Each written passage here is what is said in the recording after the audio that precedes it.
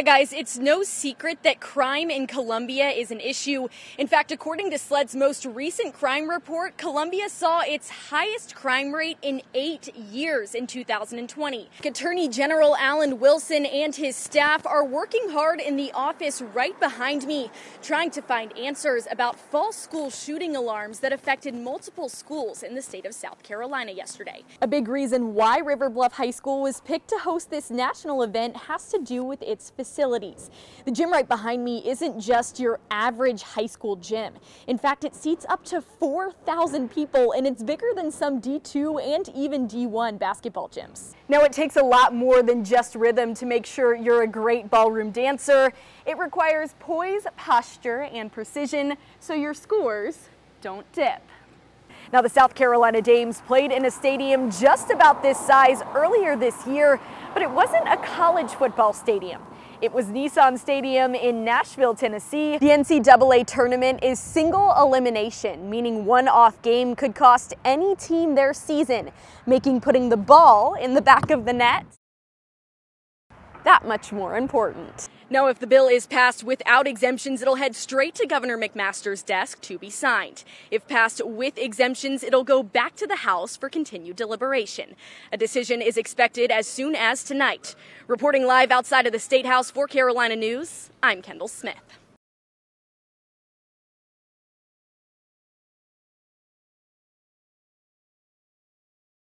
Yeah, guys, it's no secret that crime in Columbia is an issue. In fact, according to SLED's most recent crime report, Columbia saw its highest crime rate in eight years in 2020. But at the mayor's office right behind me, Daniel Rickenmann and his staff are celebrating a big win to help fight crime in the capital city.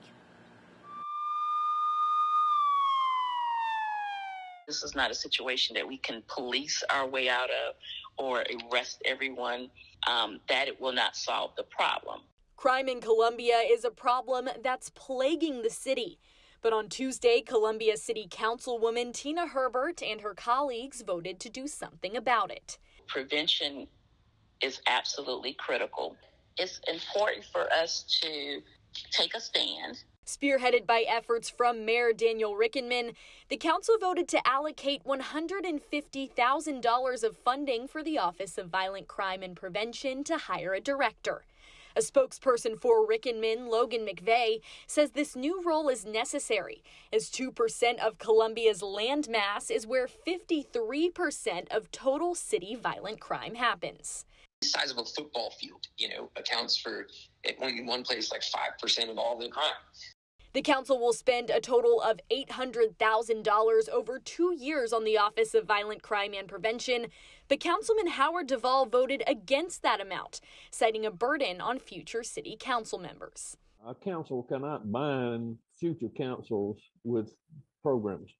Duvall did, however, vote for the initial $150,000 funding, and so did Herbert, who says an outside perspective will be beneficial. We're going to let the people who really specialize and understand how to address um, reducing violence, then come and give us some recommendations on how they think the city can best serve now, City Council is wasting no time in finding someone to fill that director's role for the Office of Violent Crime and Prevention.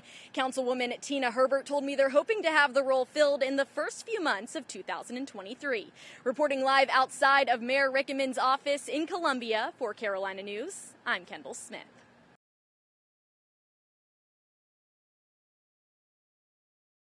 Thanks, guys. It's been a long week here at the State House where senators are debating potential abortion laws more restrictive than the current 20 week abortion ban in South Carolina. Now, this comes three months after the Supreme Court overturned Roe v. Wade when the steps right behind me were filled with protesters. This time, though, things look and sound a lot different.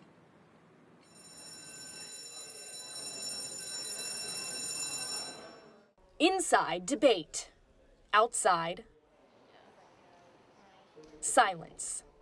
Not what you'd expect during a protest. This is absolute travesty. Like this this is this is it's disgusting. Sarah Frick has had two abortions, a procedure she assumed was a right.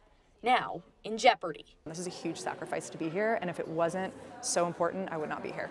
All week, state senators debating a bill that will ban nearly all abortions in South Carolina if passed, with no exceptions in cases of incest or rape.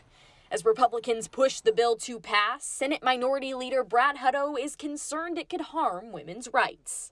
That there's a group inside that Senate chamber who is saying to the women of South Carolina, we don't trust you. Until a decision is made, protesters are anxiously watching, waiting as silence and emotions ring loud outside the Senate chamber.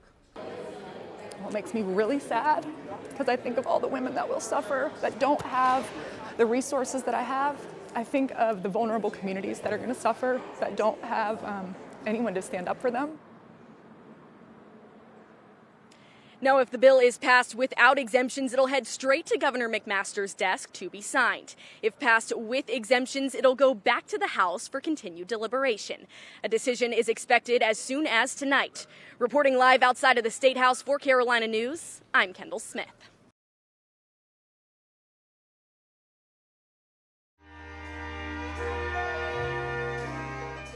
Through the curtains of this Columbia dance studio lies music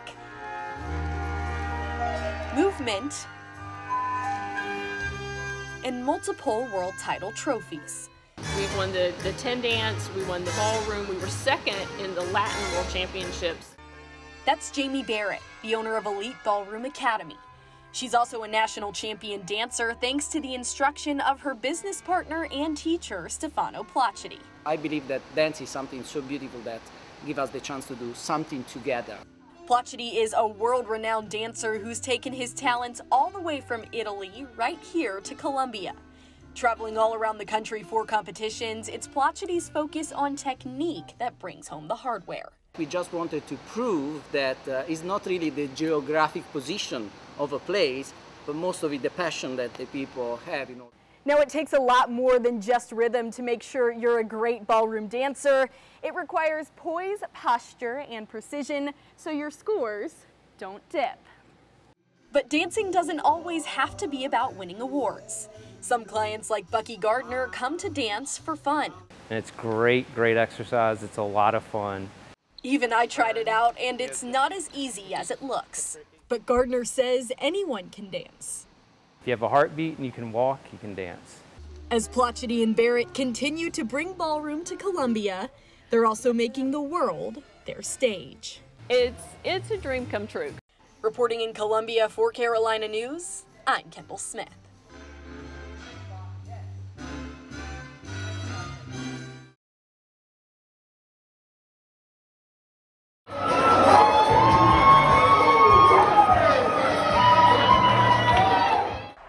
Carolina was alive in Death Valley on Saturday, with head coach Shane Beamer and his team earning a statement win over Clemson and praise from fans like Jackson Purcell that have waited almost a decade for a win over the Tigers. I think I lost my voice the entire week and just screaming. It was awesome.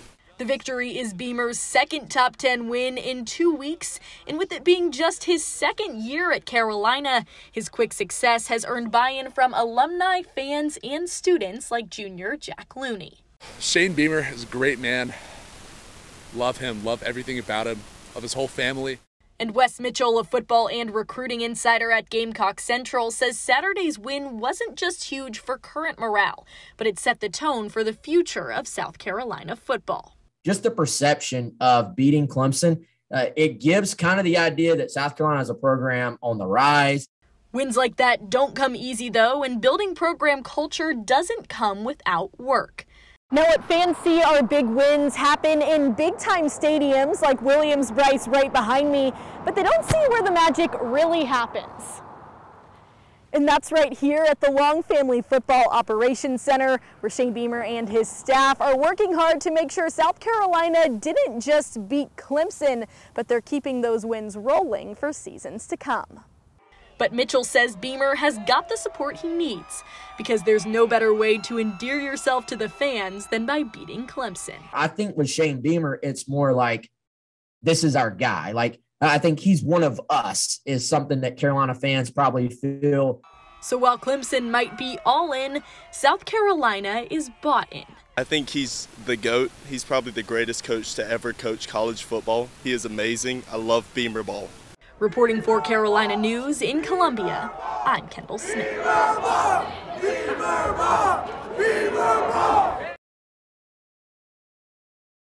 Game day is this weekend coming up on Saturday. South Carolina taking on Missouri. I love to do my fall fit check. It's supposed to be high of 70 on Saturday, low of 55, just a 6% chance of precipitation. So luckily for you, going to be nice and sunny, but might get a little chillier that game at 4, so the sun will set probably about the third quarter. Going to be about 67 degrees, so maybe wear your jersey, maybe wear a little long sleeve shirt under it, just so you're comfortable out there. Long pants, clear bag policy, and then no U of SC, strictly USC going forward. If you saw that big news yesterday, which we talked about on Carolina News. Now let's bring it back to the Carolinas. The Panthers lost on Sunday. The Hornets lost last night, but the Hurricanes gave Carolina fans a treat on Halloween, defeating the Capitals in a 3-2 overtime thriller. Both Brent Burns and Andrei Svechnikov scored in the shootout, vaulting the Canes to victory in Raleigh. Svechnikov is now tied for second in the NHL for most goals scored with eight.